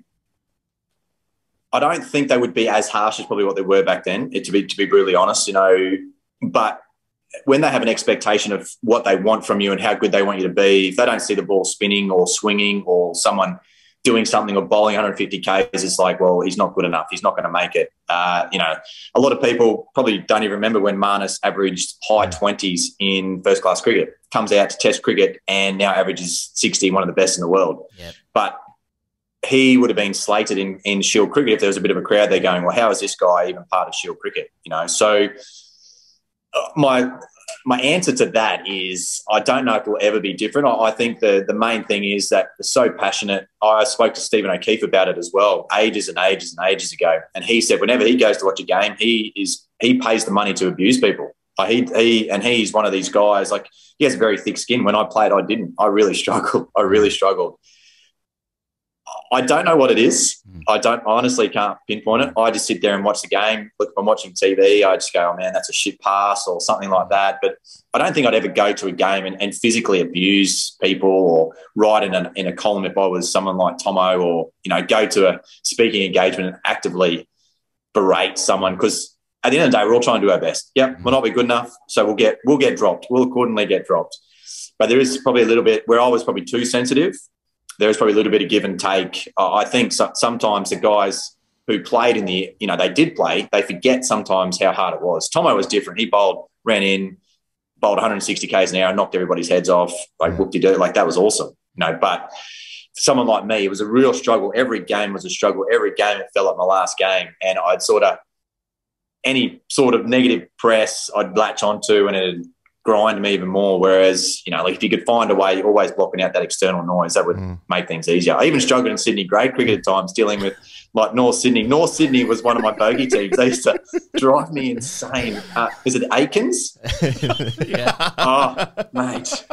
The whole family on the hill, everything, like it would just berate me so badly. And we used to lose to North Sydney so many times. Like we had such a strong team. And it would just, oh, it haunts me now thinking about it. Actually, really good blokes when you get to know them. No, they are. They are. Yeah. They are. There's obviously another guy who bowled uh, who bowled wheels who, who had similar, um, I guess, criticism in his career. Was a good friend of you on this, good friend of yours in the Australian team, Mitchell Johnson. who I think you would have come across for the first time in the Aussie 19s. Had you had you come across him before, and uh, and how fucked was he to face in the nets? I don't know because I never faced him. I always, Smart. I always just said, I'm okay for throwdowns. Thanks, Mitch. I don't need to face you. Um, he, I came across him uh, straight 19s when we went to England. So Michael Clarke was part of that side. Mitch got picked by Dennis Lillee just out of the blue from bowling in the nets in Townsville. All of us had to go through the system and pathways and get, you know, survive. But Mitch, he came in. I think he had like a, a Megadeth t-shirt on and earring It's in on. his book. rat so good. Mate, It, was, it was so random. Not so- he doesn't have, didn't have cricket shoes. mate. He, he was so, he was the most random bloke you'd ever met. And then mate, he bowled this spell. He didn't have much to do in that tour because we were both really young, him and I. Hmm. But because we had a few quicks out in front of him, he played the last test. He bowled this spell. It was one of his first games. He took four for ten or something ridiculous, and he hit a guy in the throat, another guy in the helmet. And everyone's just like, wow, this kid's amazing. And then he, he had that rise and then hurt his back and mm. came back. And yeah, look, he's him and I still talk a fair bit. And, you know, look, he, he's had his own struggles. And I remember the Ashes when we were like, we were, we were a pretty young side trying to win the mm. Ashes over there. And, and that test in Cardiff really just destroyed us. Mm. Uh, you know, look, him coming on to play at Lords when they just, England just took the game away for us in that first session. I dropped Straussy early. But like that tour, like the crowd, the, the England crowds are not as vicious, if that makes sense. They're, they're quite clever in their taunts and stuff like that. But it just wore him down. And we've spoken about different things at different times. And it is that mental strength that you can sometimes have, but if there's other stuff externally in your life, you had other stuff going on, it, it doesn't take much to, to be beaten. Mm. That's um that's 2009 Ashes when uh it was Monty and Jimmy, our close personal friends, Monty and Mm. Jimmy. They they they batted out for ages at the end, and then there was like there was there was guys running on with gloves every four balls. Oh my Like, God. Was was was um was Ponting about to kill someone that day? Oh, the set, the last one. So at the stage, when we- it was about an hour left, and I, I pretty much bowled from that one end all day. And they played a miss or whatever. Things didn't go right. They kept running out, and this bloke he kept running out. He was just like he was just so annoying. And then the punt, he walked on. I think there was like maybe two overs left, and the game was. I think we were pretty much cooked at that stage. And punter, I didn't hear it, but punter was like literally face to face. You know, the crowd was around and they were talking, and he was literally berated, abusing him. And then the umpires had to sort of step in. And I don't reckon I've ever seen or heard anyone be so angry when we got off the field. Like after game, shook hands or whatever. Steve Bernard, our manager, coming and goes, uh, Ricky, just to let you know, mate, uh, you've got men of the match. Uh, and he's like walking in, he's fuming. I'm in, like, I'm actually sitting in the toilet. I've closed the door. I'm in, literally, I was honestly in tears. Like, this is how bad I felt. Like, because I was just knew, like, for me, I knew what was coming. You know, like, Horace doesn't take the wicket. So I was like, for fuck's sake, this was like, this was it. We had it won. We played so well. Hmm.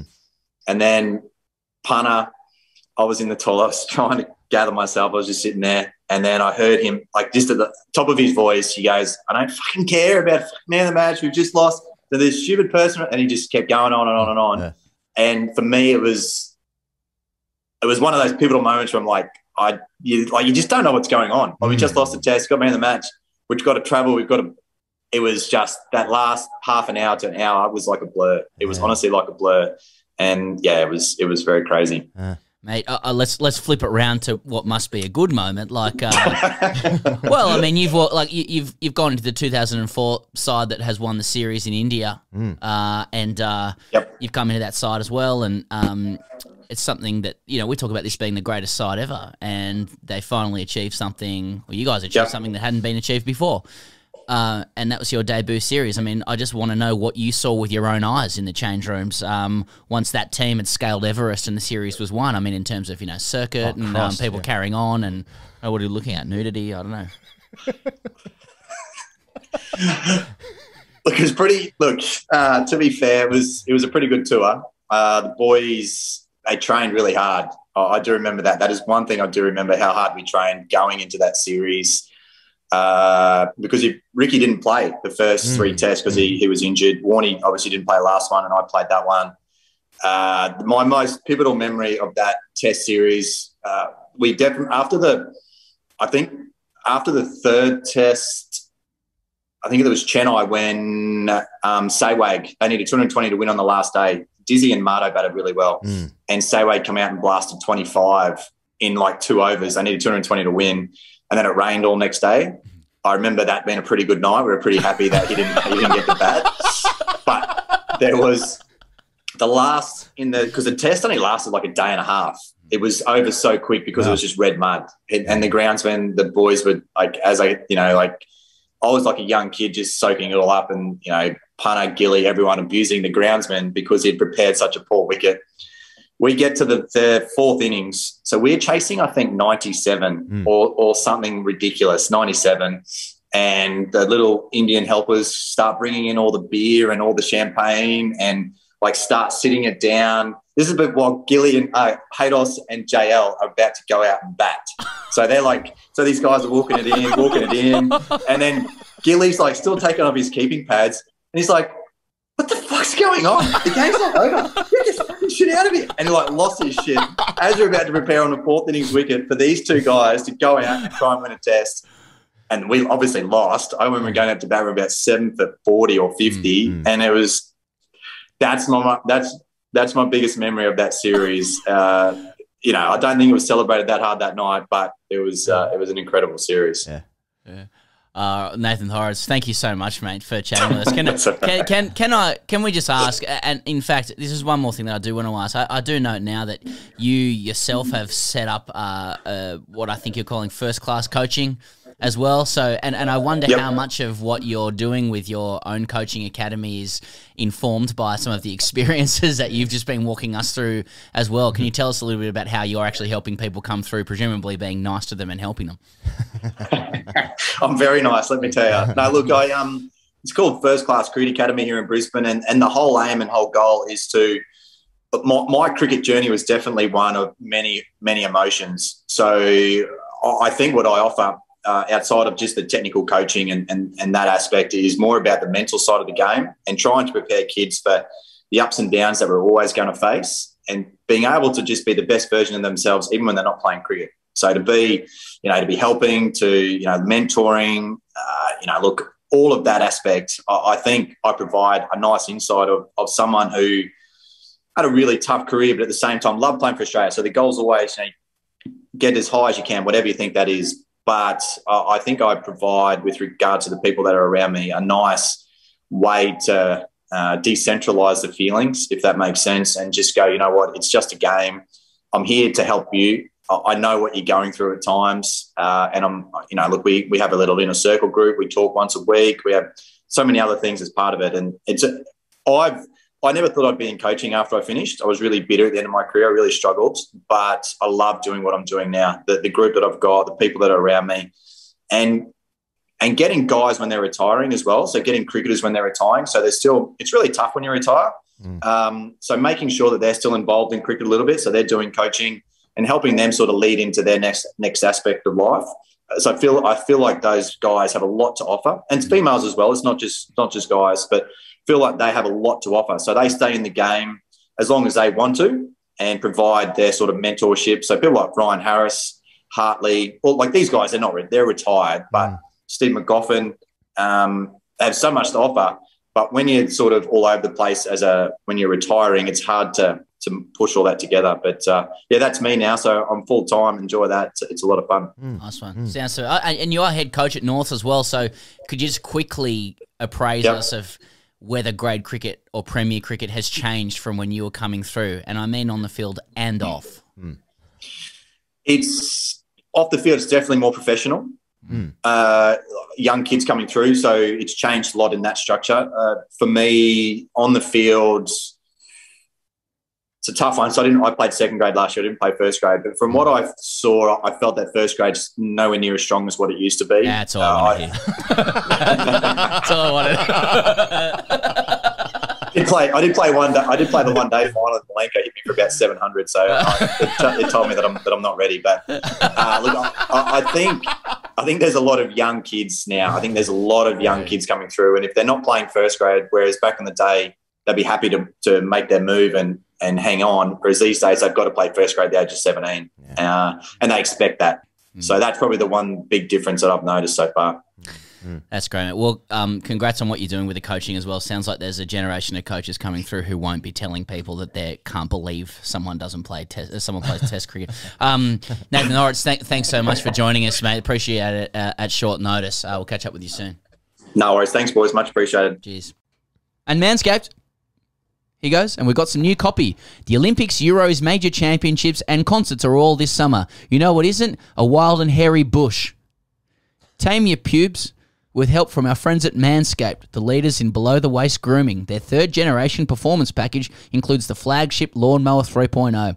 If an athlete treats their body like royalty, why not treat your pubes like Olympic gold? Fellas, do the right thing by your balls and join the 2 million men worldwide who trust Manscaped by going to manscaped.com for 20% off plus free shipping with the code TGC. Uh, we got some new copy for Manscaped. Here he goes. Yeah. And I, I got some feedback from our, I guess, our liaison Yeah. saying, mate, we're moving, we're moving product. They're shipping units. We're shipping units through TGC. Oh, you're trimming He's units like, as well. He's like, really good month. And Really? you know, we've been putting a bit more into these reads. So I'm glad to see that the uh, commerce of this, the capitalism, is Hey, working. when when I'm just thinking about uh, before talking about Ian Thorpe and the and the bodysuit and just this, the idea of that was just to fucking be like a seal, basically, just slip, that's right. slipstream. yeah, dolphin. Thorpe, fuck, he looked good, didn't he? Big old, he- he big old flippers. He'd, he'd skate. Oh yeah, yeah, yeah. But I was I was just thinking He'd have um, been scaping at the before. time. I was 14 during the Sydney Olympics. Sydney Olympics. Oh, you're a good swimmer as I well. just I just stopped before then, but like I knew that Thorpe was Thorpe was known before the Olympics. I think Hmm. You he, would- would- he was you- 15 or 16. You would have been coming through the ranks and known about this guy a couple years. He was a couple years older than older me. than you. A couple years older Yeah. than me. Yeah, yeah.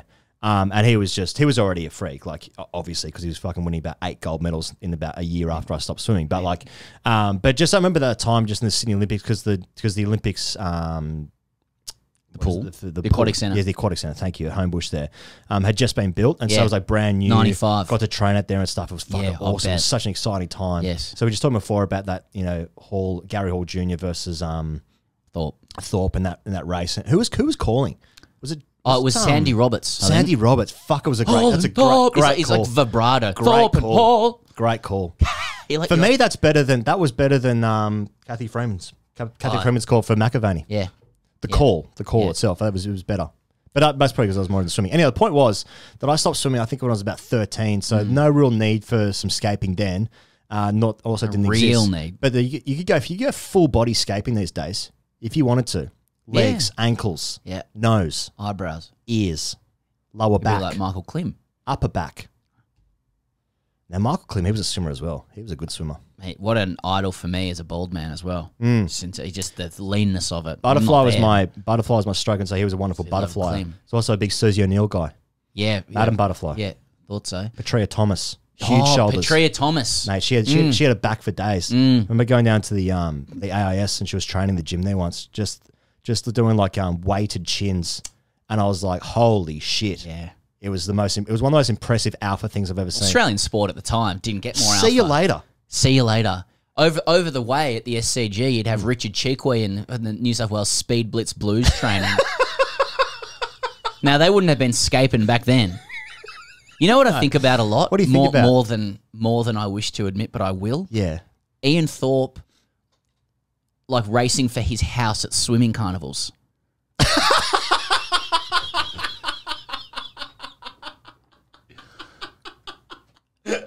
Mate, What imagine colour? What colour? Red? I don't know. Blue? Imagine being in his house. Yeah. Go on, Thorpe. Yeah. You know, It's sort of obscure like white person name from settlement. Hazlitt. he just what? Yeah, I remember. Um, I do know a guy who went to his school, Panania. I think he, he was he was from around that area, Mhm. and uh, yeah, I was like, oh, I bet he dominated the swimming carnivals. I mean, it's like, yeah, he did. He dominated That's the it. Olympics. Yeah, The Olympic Games. It, stands to reason, mate. so Thorpe would have manscaped. I mean, I don't know that. Do you know specifically? do you- what at what stage did the term metrosexual come in? I reckon a little bit after that, maybe a couple of years after Ah, that. yeah, not and that was wouldn't have been too too not not too long after. after, not too long after Not that. too long. Because then that Because just that's be- Sex in the City stuff. yeah, I guess so. Which And that was, was that late was sort of, that 90s, was sort of early- like tips in the hair, wasn't it? A little Yeah. bit like that's sort of- Frosted Tips, that's- Dawson Leary, Hmm. who would have also manscaped. Not to be confused with Dawson's Creek. That's James Van Der Beek. No, that's the same thing. It was- wasn't his name Dawson Leary? Yeah. Yeah. So you actually, there's no confusion. No it's confusion the same there. person. When did One Tree Hill kick off? Yeah, you're thinking of Denis Leary, What who about sung the- "I'm an asshole." What? Yeah, I did. I actually. What happened to jo- um, Joshua, Jason, Taylor Thomas, Anthony Joshua, Jonathan Taylor, Jonathan, Thomas. Jonathan, yeah. Jonathan Taylor Thomas, JTT. Ah, he did some vo- voice work. did some voice stuff. Yeah, after Home Improvement. Yeah. Okay. Um, he was Simba, Lion King, which was about the same time. Yeah, he was. He was. Yeah. I don't know what he's up to now. What's he your would favourite song he from would The also, Lion King? He would also manscape. Oh, Circle of Life. so probably probably Circle. Yeah, I can't go, Circle I can't go past Circle of Life Mm. to be honest. The the um the crescendo is Mm. just it's too much. I can't ignore it. It's a it's a simple. It, it's it's You I guess simply it's, cannot ignore it. it's it. a cliche thing. Yeah. yeah. And if you Um, want to circle your life Or your pubes using a razor, the Manscaped 3.0, the perfect package. performance. The performance package. Just go to manscaped.com. Just fucking go if to you want to Manscaped. Come on. shave excess hair around your pubes Get and rid. otherwise. If you want to get rid, You can do it in the shower. Put your foot it through doesn't it. take it. Oh, it doesn't hurt. It's it doesn't cost heaps. You get twenty percent off. Mm-hmm. Manscaped.com. Use the code TGC at checkout. That's it. Simple. all there is. Thorpe swimming That's all there carnivals. hashtag AskTGC, Pezzy Lad. Yes. Here we are. Here we go. Here we are. We've done it. We've made it this far. Hugh Henderson writes in, Pez, Yo. from the email subject, nuts. Fuck it. Should have included this in Manscaped. Ah, it all ties in. I was listening to some of your older podcasts, says Hugh, that I had missed over the summer and couldn't help but write to you after hearing the letter from M. Boucher, who threw a chestnut when he was young in a tree and it bounced back and hit a teammate's mother in the eye. Do you recall that, RCGC? Yeah. One of you mentioned that the pain must have been like getting softly hit in the balls by a tennis ball. Yes. I was immediately stopped in my tracks as I recalled this exact feeling from some 30 years ago. I was at university in New Zealand and my fourth year was flatting with five other like minded guys. We had what remains to this day the best setup for backyard cricket that I've ever seen. On one side of the driveway were six double story apartment style flats, and on the back and on the other side, a 2.4 metre fence, meaning that the ball was very rarely lost. The driveway was a rough tar seal that over the course of the year becomes smooth with a huge amount of use as a cricket wicket. We had the rule in place. We had a rule that the only place that the ball could hit the fence or a building on the full was behind square, and this encouraged or rewarded and rewarded the hook and pull shots. Aside from this, the straight hit onto the road was a favourite, particularly if it hit a moving car where an H was scored. I was the only one playing grade cricket in the flat, and as a bowling all rounder, was without doubt the alpha of the fierce backyard contest that went on every day. He spells that A L F A. Not very alpha indeed, Pez. Is that how you spell Alfa Romeo? I think it is. I know there's a cafe in Yarraville called Alpha A L F A. Mm-hmm. Concerning. One afternoon, continues here, I had been batting for a good half hour and was well on my way to a big daddy hundred. The most unco flatmate came on to bowl uh, what we referred to as his nude spinning fluff. He dropped one in short, and I recall thinking, I'm having a big piece of that, and ripped into a ferocious pull shot. Now, as was the trend back then, I was wearing shorts that were cut off cotton track pants and silk boxer shorts. This meant that my junk was hanging very freely with little to no shrinkage on what was a warm summer's day. As I launched into yes, as I launched into my ripping pull shot, the ball must have hit the side with tape on it as it kept slightly low. As a result, I got a thick bottom edge rather than fatting it into the square fence. The ball bounced directly down and then back up again, catching both nuts flush on the way up. Ah! It wasn't traveling particularly quickly, and I recall thinking, that didn't hurt. That was as far as I got as the receptors in my brain translated the sickening and paralyzing pain that began to intensify in, in increments like the Richter scale. As I let out a high pitched shriek, my legs turned to jelly and I crumpled to the ground. The pain was severe, and I recall trying to speak but was unable to, as taking a breath was impossible. After what seemed like an eternity, I was able to finally breathe and exhaled a long, slow groan as I lay motionless on the ground. The sharp ache did not ease, and each breath only exacerbated the pain as it felt like my balls had been crushed in a vice. Fuck, I'm in pain reading this, man. Yeah. I finally managed to open my eyes and recall vividly the great sympathy and concern of all my flatmates in witnessing their mighty alpha flawed. Oh, cool, you jets. Three of them were rolling around on the ground in varying states of hysterics, and the bowler had both hands on his knees, double over with tears streaming down his face. there was no interest shown in my well being, and the only chat that, emana- uh, that emanated was around whose turn it was to bat, and that I was actually retired out, as there was no such thing as retired hurt in backyard cricket, or BYC. I wanted to vomit with pain, but just knew that this would only make it worse. I managed to crawl to the square leg corner where I curled up in a ball for around 15 minutes, unable to even get to my knees. At this exact point, the new batsman launched into a hook shot and drilled the ball flush into the small of my back. As I lay cowering in the corner like some cuckolded sub, all that I could think was that these cunts would pay for this. As I staggered inside, all that I could manage for the next two hours was to lie on the couch with a, with a bag of frozen peas on my balls to ease the pain. I had great satisfaction in serving up those same peas for dinner to my flatmates that night. The, sto- uh, the story has a further part to it, as a day or so later I was back and ready for action. This time, though, there was not going to be a repeat. Uh, there was not going to be a repeat, and I took the precaution of changing into my cricket jocks and sliding my box in before commencing play. Smart boy, I thought. And so it proved as I proceeded to make the cunts pay for a good hour, slammed their bowling onto the road with real authority. To their credit, they took them their medicine and continued to bowl and field as I took revenge. By sheer chance, I happened to look at my watch and realized that time had flown, and I had a compulsory tutorial commencing in four minutes' time. Having already received a letter from the university informing me that I needed to pass everything that year, of I would be looking at exclusion. I jumped on my bike and sped the two kilometers to the tutorial, making it in time to not be marked absent. Mm-hmm. Now, the only reason that I'd taken this particular subject was so that I could get into the same class as the goddess, inverted commas, who was the hottest girl of my year group. By sheer chance, we had ended up working on a group assignment and were receiving our grades back that day. We got to know each other quite well over the course, and I had been plying her with my A grade with my A game for some time. it No was ply with my A game. yeah, yeah, yeah, for some time. It's obviously working going down a treat. hey, this A game's going down a treat. Sorry.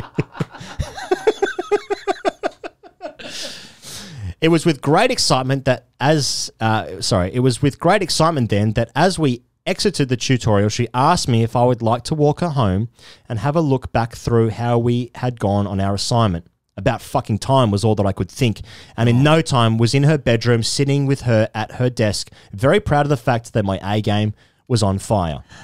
One thing led to another, and next we ended up kissing, fondling, and getting ready to get amongst it. It was at this precise moment, as the blood disappeared from one head to the other, that I realized that I was in deep trouble. As my semi turned into a fully fledged chub, ah. I realized that in my haste to get to the tutorial, I had not taken my box out. Worse still, Chast- chastity. Worse still was that I was wearing my cricket jocks, an off-white, heavily sweat-stained pair of old oh, dacks that I had just, and also just batted in for over an hour. As the goddess dropped to her knees and Oh pulled my, my shorts to the floor, there was an there was an ensuing gag reflex that was not the result of any deep throat action. The sight and stench of, of my Y fronts clearly weren't what she was expecting, and as she reached out to touch my cock, she re- recoiled in horror, having been met with my plastic Gray-Nicolls test cup instead of my dick. She tried not to vomit, and I attempted to explain how this had come to be. But as she fled the, to the bathroom with her hand over her mouth, I knew that there was no recovering from this one. I pulled my shorts back up and made a hasty escape, hightailing it back to the university to collect my bike with my semi banging on the inside of my box. The goddess never spoke to me again, and I continued to wear my box in backyard cricket action just in case one did a bit. Questions. Why the fuck does a soft blow by a tennis ball to the nuts hurt worse than childbirth? Is it weird that I have dreamt about this the last two nights since I listened to your podcast? Is it weirder yet that I haven't dreamt about the goddess bit and just ripping the pull shot? Did you think that I might have dodged a bullet with the goddess as if she was meant to be the one? She would have, upon seeing the sweaty jo- uh, jocks and box, looked loving up at looked looked loving up at me and said, "Get a few, did you?" If only I had today's accessories such as a manscaping equipment and budgie smugglers, my life may have been quite different. Although I still break in a cold sweat at the at the thought of the pain of that tennis ball to the nuts. Love your work, gentlemen. Cheers, Hendo. Oh, Hendo. Quite a journey took us on there. That was 1,500 words, Hendo. Holy and shit. Thank you.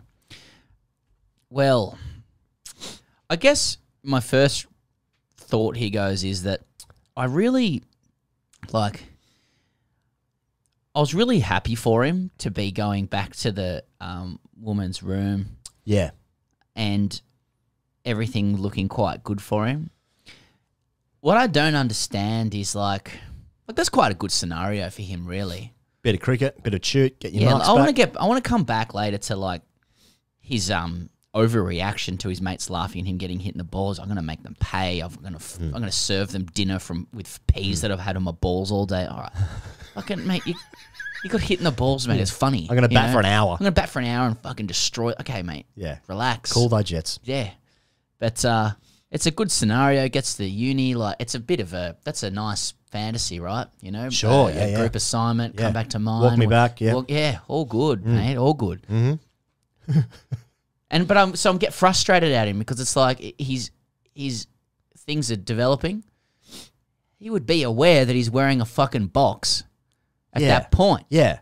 mate, just like I know this isn't right for the narrative or whatever. It's like, can you just st- can you just have stopped the situation? Oh, I just got to go to the bathroom quickly Yeah. and just sorted that out.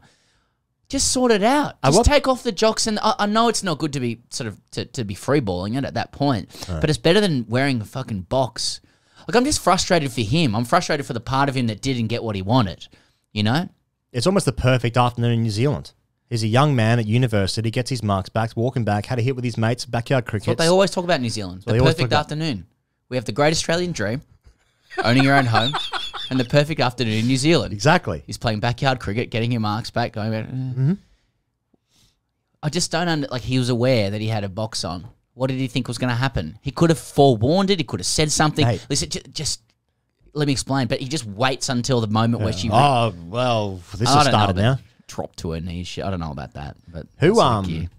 who uh, who's so comfortable wearing a box that you forget that you're wearing a box? exactly? Have you I- ever I- walked out to bat not wearing a box? Look, you've asked me that directly. Yeah. Do you want to And- talk about it? No, uh, well, you've pushed me into it. I I actually in a school game Yeah. um, batted uh, without a box for quite a long time before I realised I'd not put one on. Quite a long time. I was in Like year ten. six or seven rounds. I batted for quite a long time. All right. Okay. And Oh, um, you scored a few runs. Yeah, record breaking stuff. But um,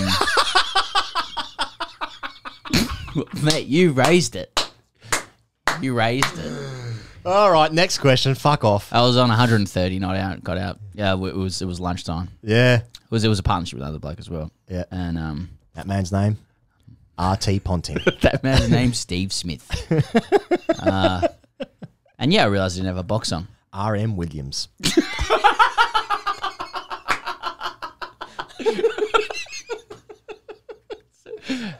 A B Paterson. man's name was R M Williams. Oh, he's over the batting with R.M. Williams. MJ Bale batting three.